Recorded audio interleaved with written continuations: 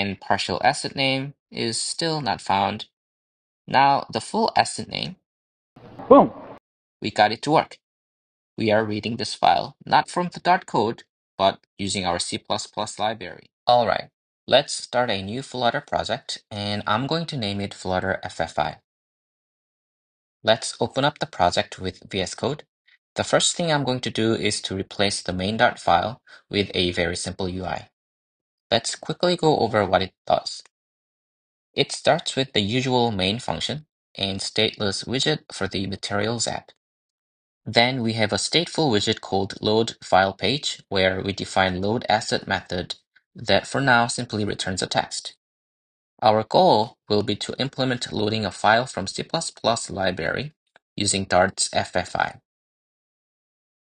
The UI consists of an input text field for the asset name, a button, and the output text.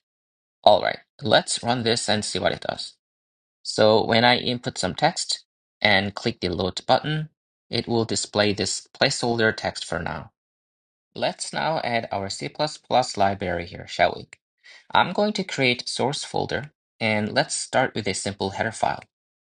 Since we are going to return the file content as bytes, let's define byte array struct that stores an array of uint8 and the length. One thing to note is that FFI only supports C functions and not C++. So we need to expose C function interface and not C++. That's why we can't use C++ vector or string class and need to explicitly define its C struct. Then let's define our API to be exposed to Flutter, and there will be two functions. The first is read file that takes a string and returns a byte array. Again, we can't use string class, so the input argument needs to be a character pointer instead. The second one will be free bytes function to free byte arrays data. Now, here's the crucial part. We must make sure to interpret this header file as C and not C++. For that, we wrap our code around with these directives. This is a must step if you want to link against C++ library. All right, now that we have our header file, let's create our C++ implementation. Let's name it load.cc file and let's place it in the same folder as the header file. For this, I'm just going to copy and paste code here, but essentially it does what it should do. For read file function, it reads the file using C++ fstream and copies the data to our C byte array struct. For free bytes function, it simply deallocates the memory as it should. Okay, now we need to compile the code into dynamic library. I'm going to create a build script that does this. Let me copy and paste the build script here, and let's go over the script. First, notice how we create three different directories, macOS, iOS, and simulator. This is because we need to compile different binaries for each of these platforms. For macOS, the build script is simple and is what you would expect. We are invoking G++ to build a shared library with load.cc file and output to the macOS folder. For iOS and simulator, we just need to pass one more parameter during the build stage. And this is this isysroot argument specifying which SDK to use. For iPhone, this is the path to the iPhone SDK here, and we are going to output this to the iOS folder. Oh, by the way, I'm going to share everything in the description below, so you don't need to copy this down. Similarly, for the simulator, we specify the SDK for the simulator and output to the simulator folder. We have another command here at the bottom, but let's comment it out for now. And when we run this build script, it successfully built the libraries and saved to each of the folders that we specified.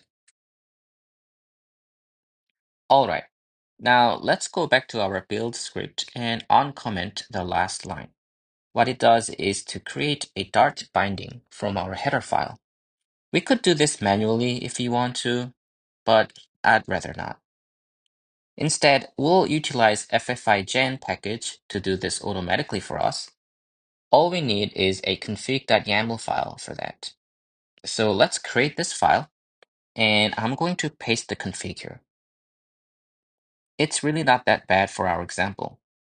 we specify the name of the binding class in Dart, specify where to output the binding code, and specify the entry header file, not the implementation file, but just the header file.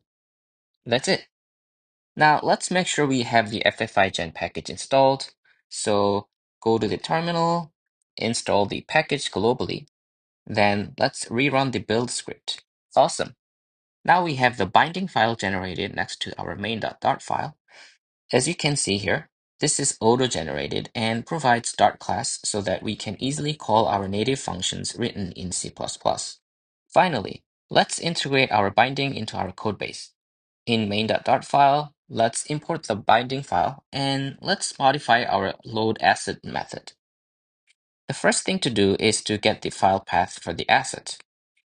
This requires some work, so let's assume we have a function that does this. Then we want to load the file using our C++ read file function.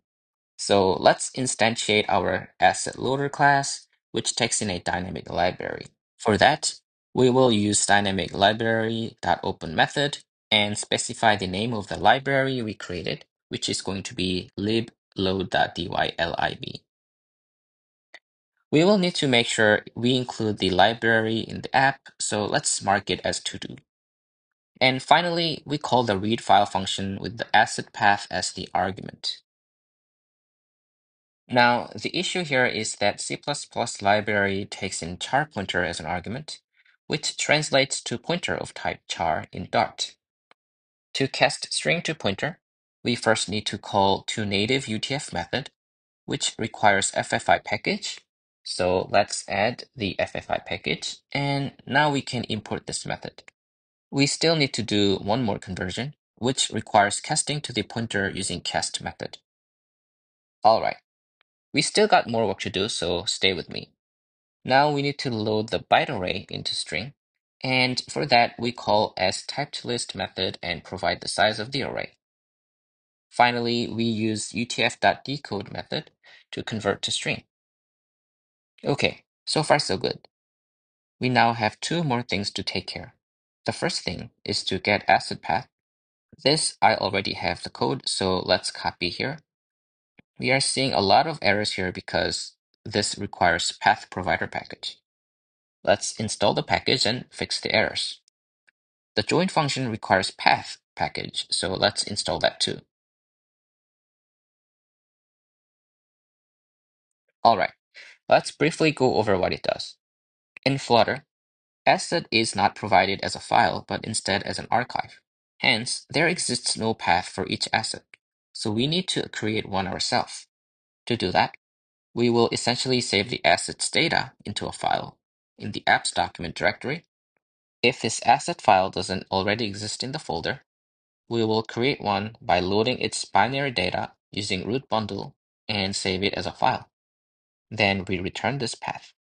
Now, this will create the file for us so that our read file function can actually read this. Since this is an async function, let's add await and async keywords here. All right, we just did this one, so let's remove this. And we are down to the last one, which is to actually add our C++ library into the app. For that, we open up the Xcode. I'll do the Mac OS app as an example, but it should work the same for iOS or Simulator. When you open the Xcode project, select Runner here and go to General tab. Scroll down to the Frameworks and simply drag and drop our C++ library here. This is for macOS app, so make sure to select the macOS version of the library. Now head over to Build Phases tab and remove our library we just added from link library section.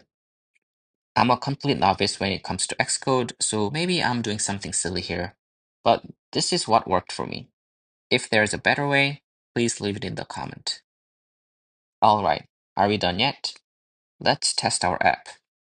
If I were to input some random text here, it crashes. well, let's add some error handling here with a try and catch statement. Okay, there's one more thing. We need to add an asset so that we can actually open it. For that, let's go to pubspec.yaml file and this is where we are going to declare our asset. Well, let's first create the asset. I'm going to create asset folder and write some text here.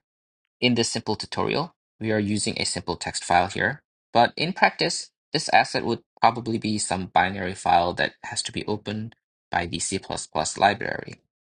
Okay, this should be good enough. So let's add this asset in pubspec.yaml file and test again. For assets that do not exist, the app handles it as expected. For the asset that actually exists, um, the app still can't seem to work. All right, our favorite time, the debugging session. Let's break at this line here and see what's happening. Ah, I see. The asset name contains the slash character, and hence our file path points to a non-existent directory. I'm a lazy guy, so I'm going to fix it by just using the base name here. This is not the most elegant fix, but hey, it will do the job for this tutorial. Alright, let's rerun the app. Random asset is not found, and partial asset name is still not found. Now, the full asset name, Boom. we got it to work. We are reading this file not from the Dart code, but using our C++ library. Okay, folks. Hopefully this was helpful for you guys and hope you enjoyed it. I'll see you next time and happy coding.